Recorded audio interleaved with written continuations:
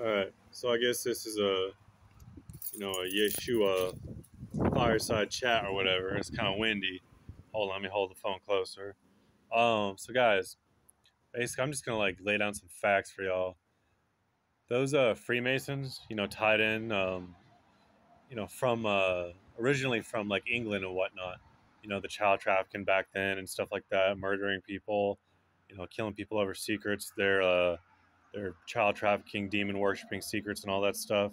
Um, they fled to America, and they uh, they started America, you know, and uh, the United States, and pretty much um, that Constitution or whatever that these people have, they, they're worshiping Baphomet. And if you have ever seen the pictures of different uh, um, reliefs and things like that inside of the White House, you'll see you'll see images of like Baphomet the demon, you know. So, uh, you know, I mean, which is why, and essentially, you know, they've all allowed all this uh, bullshit with all these transgenders and all this stuff, you know, just making a mockery out of uh, just everyone else out there that has a good heart and whatnot, you know, just the sodomy, the Nephilim spirits. Hold on. You know, a lot of people they were, and it's just started raining right as I started making this video. It's a sunny rain, beautiful.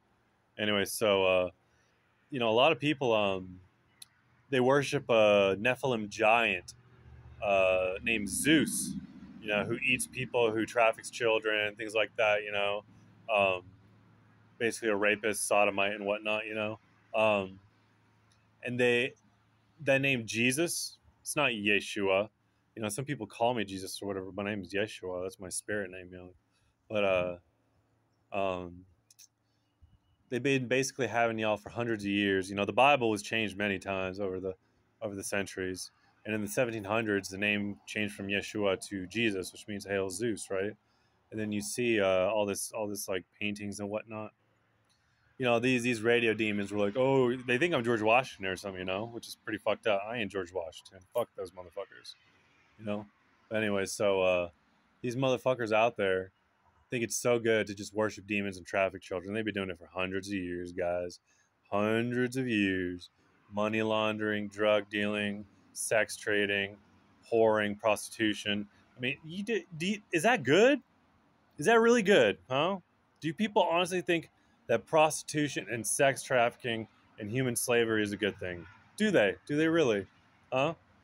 You know, these Confederates mostly um, the ones who are like tied in with the Freemasons and whatnot, the ones who don't know anything about it, they just don't know, you know. But uh, Confederates were mostly Freemasons, and the Civil War, you know, they said it was brother against brother.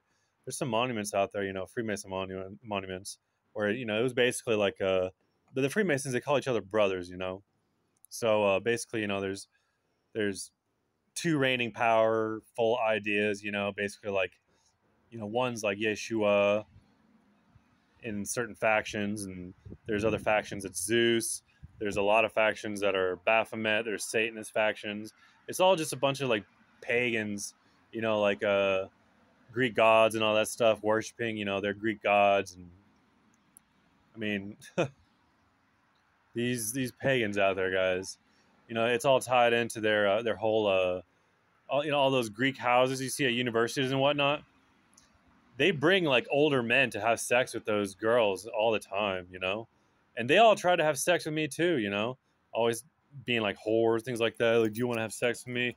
And that one time, I went to this one house that, uh, you know, looked like the time traveling Demi Lovato or something. She was like, "Hey, I'm at I'm at this house. You should come see me."